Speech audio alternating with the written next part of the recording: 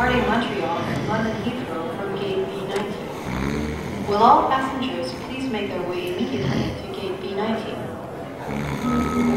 Will passengers Salem and Rios please make their way immediately to gate B19. Oh, shit! We're good, Tyson!